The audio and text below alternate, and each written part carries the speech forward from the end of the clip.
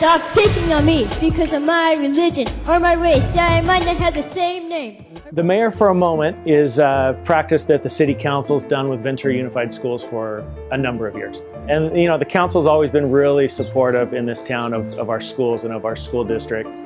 We brought two this year just because we happen to have um, uh, a student council president and a student council vice president who um, uh, are twins, number one, and um, they rap, you know? I mean, we kind of had to do that. Well, Mr. Turner came up to us and he said, hey, you know, they come to Mound School every three or four years and they ask the president, or in this case, the president and the vice president, to come do a rap.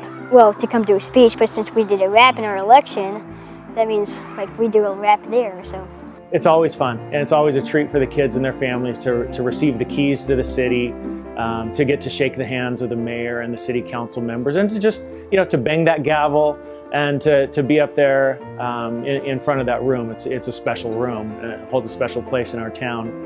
Well, we rapped about global citizenship, helping each other out and helping the environment.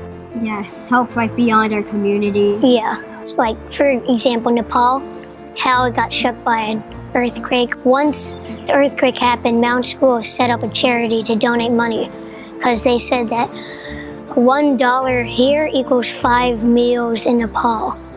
And we like sent a lot of money to Nepal. Well, Mound is magnet school. There's a very great staff, has awesome um, awesome stuff like the science lab and the, the garden. And we're getting um well we got a grant last year that gave us money and we put it into like the computer lab and the science lab because we were changing into a science and global citizenship.